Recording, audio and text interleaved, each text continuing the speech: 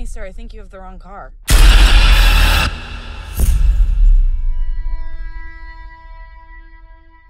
You've emailed for an appointment two days in a row. Tell me what's going on. I've never seen a case like this before. 23 identities live in Kevin's body. Did something happen?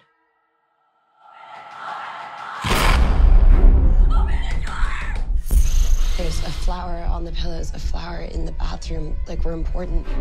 Who is that? Maybe she can help us. We're here! We're in here! Don't worry. He knows what you're here for. He's not allowed to touch you. He knows that. Mm-mm.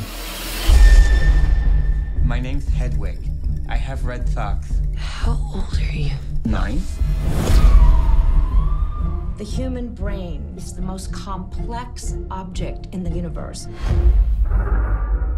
The only way we're getting out of here is if one of them decides to let us out.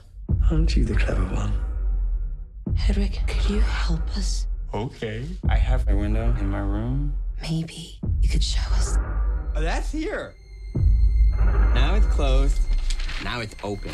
Did you think it was a real window? So you could leave?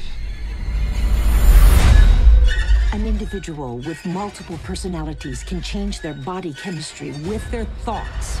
Someone's coming for you. What will happen when he unlocks the potential of his brain? There is no limit to what he can become. Tonight is a sacred night. You will be in the presence of something greater. The world will understand now. The beast is real.